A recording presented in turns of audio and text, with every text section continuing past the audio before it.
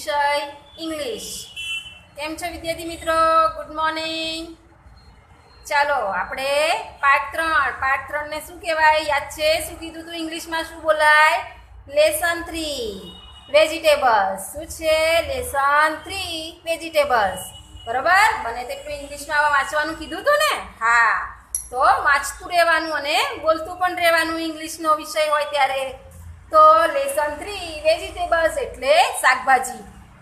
જોઈ છે ને શાકભાજી? ખાધી છે ને? કેટલા શાક ભાવે છે ને કેટલા નથી ભાવતા? હા, મોઢું બગડી જાય છે અમુક શાક જોઈને તો બગડે છે કે નથી બગડતું? તો દરેક વિદ્યાર્થીએ વેજીટેબલ્સ ખાવાનો આગ્રહ રાખવાનો, બરોબર? હા, અને તો મમ્મી બોલે છે કે નથી બોલતી? હા, જોઈ લઈએ, ચાલો આપણે વેજીટેબલ્સ કયા કયા છે. બરોબર? શાકભાજીના ચિત્ર ઉપરથી તો તમને ખબર જ હશે કે આને શું કહેવાય. પણ અમુક વિદ્યાર્થીઓને એની ઇંગ્લિશમાં શું કહેવાય એ ખબર નહીં હોય. એટલે આપણે અહીંયા ઇંગ્લિશ અને ગુજરાતી બંને જોઈશું. બરાબર? પહેલું ચિત્ર તો તમે ઓળખી જ ગયા છો શેનું છે? હા. શેનું છે? ટામેટાનું. તો એને શું કહેવાય? ટોમે, ટમાટો. બરાબર? ટોમેટો પણ કહી શકો છો અને ટમાટો પણ કહી શકો છો. તો એને ગુજરાતીમાં ટમેટું કહેવાય છે. ભાવે છે ને દરેકને? હા, સલાડમાં ખાઈએ છીએ, કાચા ખાઈએ છીએ, શાકભાજીમાં, શાકમાં ખાઈએ છીએ. બરોબર? તો એનો સ્પેલિંગ પણ આપણને આવડવો જોઈએ. આવડવું જોઈએ કે ના આવડવું જોઈએ? ચાલો, બોલો તો મારી સાથે સ્પેલિંગ એનો. ટીઓ એમ એ ટીઓ બરોબર? એકદમ સહેલો છે spelling T O M A T O બોલો છો ને? હા, બોલતા રહેજો એટલે મોડે થઈ જાય તમારે. તો ટોમેટો એટલે ટમેટું. પછી આવે છે લીંબુ. બરાબર? આ પણ ચિત્ર જોઈને તમે ઓળખી ગયા છો તો એનો સ્પેલિંગ જોઈએ આપણે. L E M O N lemon એટલે લીંબુ, બરોબર? બોલો છો ને સ્પેલિંગ મારી સાથે? હા, બોલતા રહેજો. L E M O N lemon એટલે લીંબુ. બહુ સરસ. ચાલો, એના પછી મરચાનું ચિત્ર દેખાય છે. એને શું કહેવાય? ચીલી. તો ચીલીનો સ્પેલિંગ પણ એકદમ સહેલો છે. C H I double L I બરાબર? એવું લાગે તો અડધો અડધો સ્પેલિંગ તમારે બોલતું રહેવાનું. સી એચ આઈ પછી ડબલ એલ આઈ થઈ ગયો ચીલી? હા, ચીલી એટલે મરચું.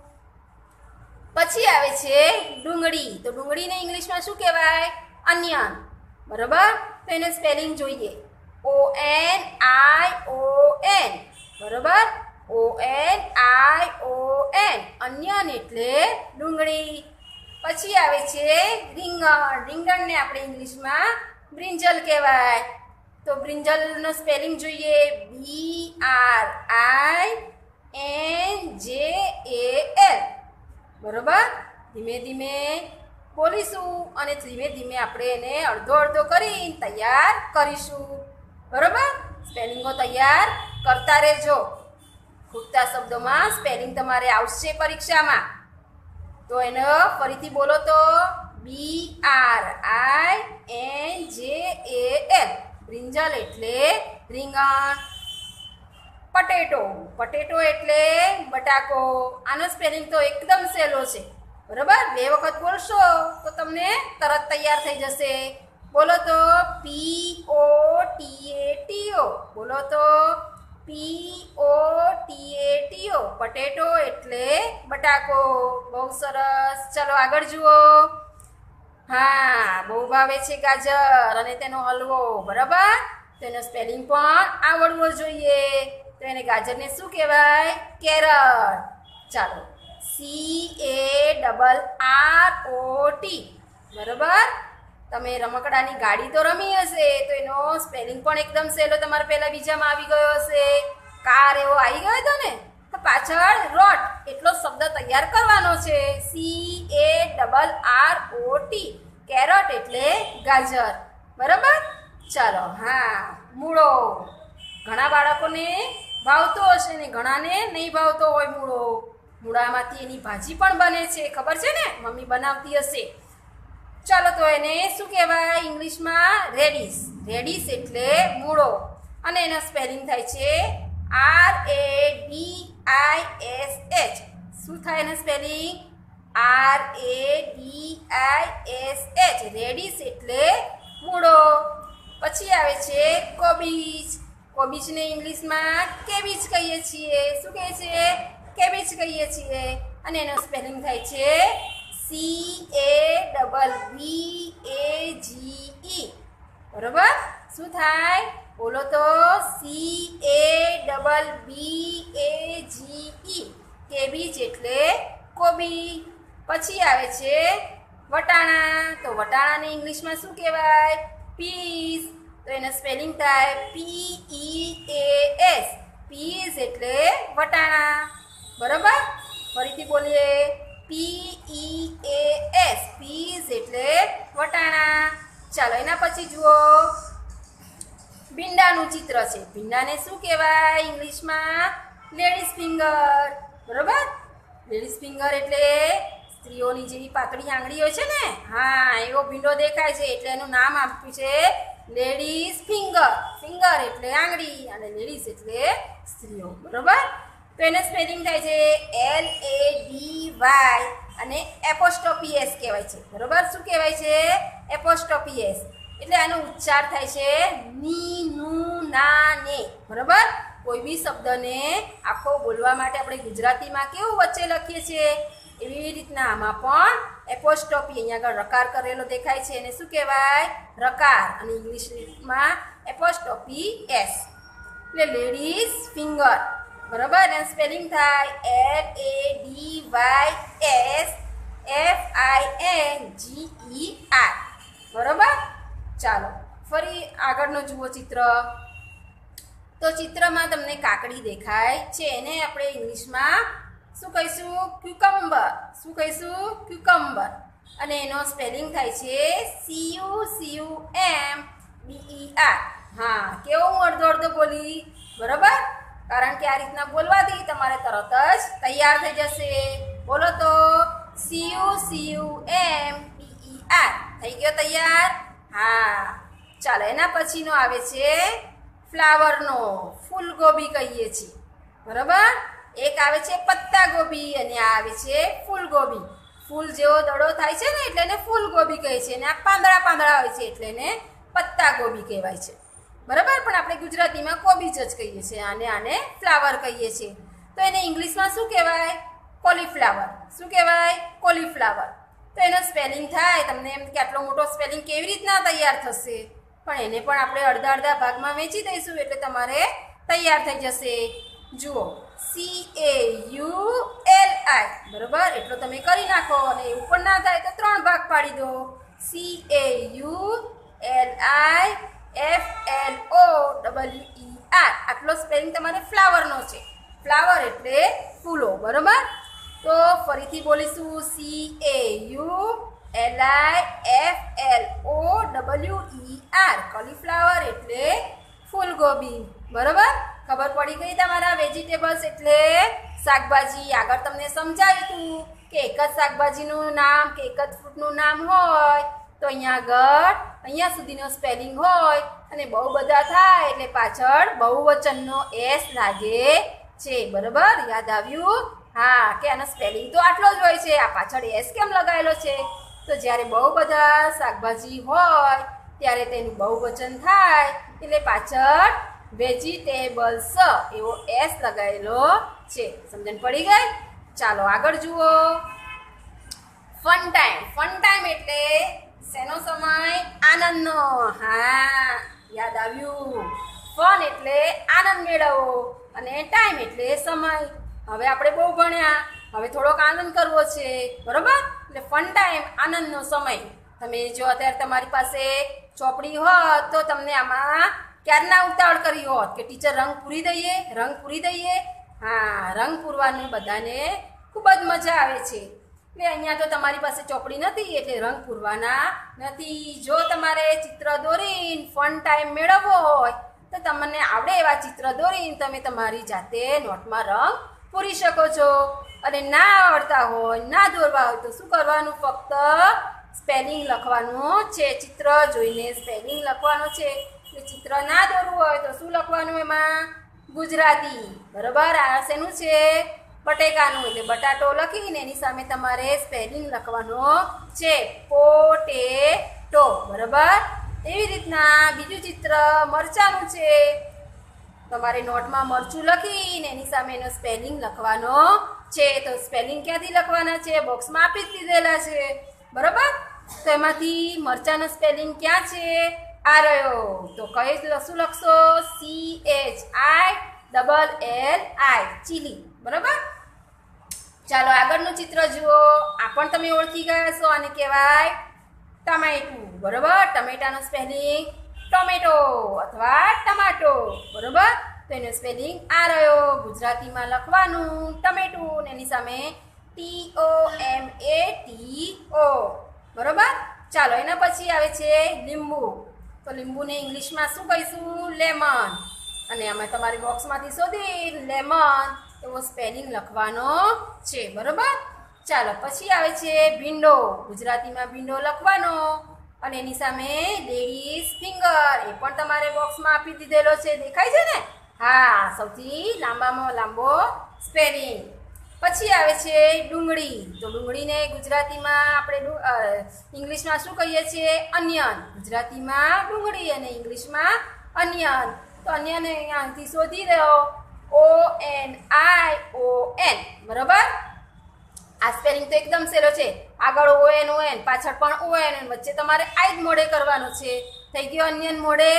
હા, તો તમારે ગુજરાતી લખીને એની સામેનો સ્પેલિંગ મોઢે લખજો, બરોબર? આવડે છે ને મોઢે? કે નહીં આવડે? હા. ચાલો, હવે પછી આવે છે દાણાવાળું દેખાઈ ગયું. બરોબર? કલર પૂર્યા નથી. એટલે અમુક વિદ્યાર્થીઓ ઓળખી નહીં શકે, પણ આ એના દાણા અથવા બિયાને લીધે ખબર પડી જાય કે આ વટાણાનું ચિહ્ન ચિત્ર છે. તો એને ઇંગ્લિશમાં પીસ કહેવાય, બરાબર? એનો સ્પેલિંગ પણ એકદમ સહેલો છે, પી એ એસ. બરાબર? તો એ તમારી ચિત્રની સામે અથવા ગુજરાતી શબ્દની સામે ઇંગ્લિશ સ્પેલિંગ લખવાનો છે.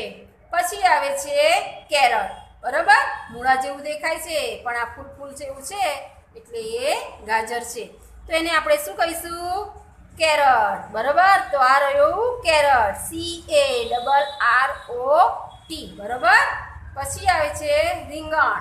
તો રીંગણનું ચિત્ર તમને બધાને ખબર હશે. અને અહીંયા આગળ કયો સ્પેલિંગ બાકી રહ્યો છે? આ રહ્યો. હા, એને કહેવાય બ્રિંજલ. તો ગુજરાતીમાં રીંગણ લખીને એની સામે તમારે બ્રિંજલ એવું લખવાનું છે. બરોબર? ચાલો આગળનું જુઓ. પ્રશ્ન નંબર એક સુધી આપણે જોઈ લીધું. હવે આવે છે પ્રશ્ન નંબર બે. તો આગળના પાઠમાં તમારે ફ્રૂટમાં એક કવિતા ગાઈ હતી, બરોબર? એ કવિતામાં પણ તમને મજા આવી હતી. હવે દરેક પાઠમાં પણ એક નાની નાની કવિતા આવશે. કેમ આવશે? કારણ કે આ ફન ટાઈમ છે. ફન ટાઈમમાં થોડીક કવિતા ગાઓ તો તમને મજા આવશે. આગળના પાઠમાં તમે સફરજનવાળી કવિતા ગાઈ હતી. હવે આ ફ્રૂટની છે, આ વેજીટેબલ્સની છે, બરાબર? ફ્રૂટની કવિતા એટલે સફરજનની હતી ને શાકભાજીનો પાર્ટ છે એટલે આપણે વેજીટેબલ્સની છે. બરાબર? તો અહીંયા આગળ આપણે ચાલો કવિતા ગાઈશું. બરાબર? તમને અંગ્રેજી વાંચતા ના આવડે તો કંઈ નહીં. અહીંયા ગુજરાતીમાં લખેલું છે. તો શું લખ્યું છે? Tomatoes are red peas are green એ તો દરેકને ખબર છે કે ટોમેટો કેવો હોય? રેડ રેડ એટલે લાલ અને ગ્રીન એટલે લીલું. વટાણા લીલા હોય છે. પછી આવે છે બીજી લીટી વાંચો. A brinjal has a crown just like a queen. શું કે છે? A brinjal has a crown just like a queen. Queen એટલે રાણી. તમે રીંગણને જોયું છે ને? એના ઉપર જે ડીટું હોય છે, કેવું હોય છે? ગ્રીન કલરનું. અને કેવું લાગે છે? ક્રાઉન એટલે પેલો જે રાણીની ઉપર તાજ હોય છે ને, એના જેવું દેખાય છે. બરોબર? એટલે રાણીનો જે તાજ હોય, એના જેવું દેખાય છે. પછી જુઓ potatoes are brown onion are pink potato કથાઈ હોય છે અને ઓનિયન ગુલાબી હોય છે. Carrots have a juice which I can drink કેરેટને juice હોય છે, એનો રસ હોય છે, જે આપણે પી શકીએ છીએ. Vegetables make me healthy and wise શું કહે છે? વેજીટેબલ્સ આપણને તંદુરસ્ત અને કેવા બનાવે છે? વાઇસ એટલે નિરોગી, બરોબર? વેજીટેબલ્સ મેક હેલ્ધી અને નિરોગી બનાવે છે. I will eat some daily with milk and rice આપણે દરરોજ ડેલી એટલે દરરોજ થોડાક શાકભાજી, બરોબર? અને રાઈસ એટલે ભાત અને મિલ્ક આપણે ડેલી લાઈફમાં દરરોજના માં દાળ, ભાત, શાક, રોટલી અને દૂધ બધું જ લેવું જોઈએ, બરોબર? તો આપણે હેલ્ધી એન્ડ વાઇસ રહીએ છીએ, બરોબર? આ કવિતા તમારે નોટમાં લખવાની નથી, ફક્ત ગાવા માટે જ છે જસ્ટ એ ફન થોડાક આનંદ માટે, બરોબર? ચાલો હવે એના પછીનું જોઈએ. આ તમારે નોટમાં લખવું હોય તો તમે લખી શકો છો, બરોબર? તો આમાં શું કર્યું છે? એ પણ તમારો ફન ટાઈમ છે. આમાં વેજીટેબલ્સના બોક્સ આપેલા છે, ખૂટતા શબ્દો આપેલા છે. એ શબ્દ તમારે શોધી અને આખો વેજીટેબલ બનાવવાનું છે. શું છે? શબ્દ વ્યૂમાં શાકભાજીના અંગ્રેજી નામ લખો. અહીંયા તમને ગુજરાતી આપી દીધું છે, તમારે એનો ઇંગ્લિશ શબ્દ શોધવાનો છે. ફૂલગોબી, કોબી, વટાણા, રીંગણ અને લીંબુ. બરાબર? તો અહીંયા એક નંબર લખેલું છે. ખૂબ જ લાંબો સ્પેલિંગ દેખાય છે. તો ખૂબ જ લાંબો સ્પેલિંગ કયો છે આમાંથી? ફૂલગોબી. તો એનો સ્પેલિંગ થાય, શું થાય? Cauliflower C A U L I F L O W E R cauliflower એટલે ફૂલગોબી. પછી જુઓ બીજા નંબરમાં, કોબી. તો કોબીને શું કહીએ છીએ આપણે? કેબેજ. તો કેબેજને અહીંયા આગળથી ઉપા લખવાનું છે. તમારે નંબર આપેલા છે એટલે તમને ખબર પડી જશે કે આ ઉપર સ્પેલિંગ લખવાનું છે. બરાબર ને? તો જુઓ C A double B A G E cabbage એટલે કોબી. બરોબર? ખબર પડી ગઈ? ચાલો, હવે ત્રીજા નંબરમાં છે વટાણા. તો અહીંયા ત્રણ નંબર ક્યાં લખ્યું છે? આ રહ્યું. તો એમાં પી લખેલો છે. પી ઉપરથી આપણે વટાણાને અંગ્રેજીમાં શું કહીશું? પીસ તો એનો સ્પેલિંગ થશે પી ઈ એ એસ પીસ એટલે વટાણા. બરાબર? ચાલો, એના પછી આવે છે રીંગણ. રીંગણને શું કહીશું? બ્રિંજલ. તો અહીંયા ચોથા નંબરમાં બી લખેલો છે. તો અડધો સ્પેલિંગ તમારે આવી ગયો છે. અડધો વચ્ચેનો સ્પેલિંગ લખવાનો રહેશે. જુઓ તો.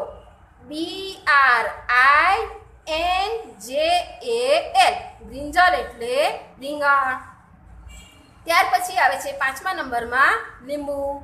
તો લીંબુને આપણે શું કહીશું? એલ ઉપરથી લેમન તો લેમનનો સ્પેલિંગ થશે L E M O N lemon એટલે લીંબુ. બરાબર? થઈ ગયું? ચાલો ત્યારે આજના હોમવર્ક માટે તૈયાર થઈ ગયા છો. હા. તો શું કરીશું હોમવર્કમાં બોલો. તો આમાં તમારે પાઠનું હેડિંગ લેસન થ્રી વેજીટેબલ્સ અને કૌંસમાં લખવાનું શાકભાજી. બરાબર? પછી ચિત્ર દોરવાના નથી. શું કરવાનું છે? ટોમેટો, એવો સ્પેલિંગ લખવાનો, એની સામે એનો ઉચ્ચાર લખવાનો અને ગુજરાતી. બરાબર? તો એ રીતના સ્પેલિંગ, ઉચ્ચાર અને ગુજરાતી નોટબુકમાં નવા પેજથી લખવાનું, રાખવાનું. પછી ફન ટાઈમ, તમારે ચિત્ર દોરવો હોય, તમારે આનંદ મેળવવો હોય તો દોરવાના. ના મેળવવો હોય તો ફક્ત એક વખત એક નંબર, બે નંબર, ત્રણ નંબર એમ કરી અહીંયા આગળ લાઇનસર તમારે સ્પેલિંગ ફક્ત લખી કાઢવાના રહેશે.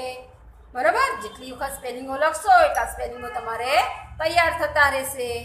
પછી જુઓ પાછળ, કવિતા ના પાડી હતી કે કવિતા નોટમાં લખવાની નથી. ફક્ત નીચેનો તમારે આ શબ્દ વ્યૂ એટલે શાકભાજીના અંગ્રેજીમાં સ્પેલિંગ લખવાના છે, આમાં પણ તમારે આ બોક્સ દોરવા હોય તો દોરવાના, ના દોરવાના હોય તો નંબર પ્રમાણે એક નંબર કરી ફૂલગોબી તો એની સામે સ્પેલિંગ બીજા નંબરમાં કોબી તો એની સામે સ્પેલિંગ એમ કરીને લખી દેવાનું રહેશે. સમજણ પડી ગઈ ને? ચાલો તો વિદ્યાર્થી મિત્રો, ફરી મળીશું આપણે આવતા પીડિયરમાં બાય બાય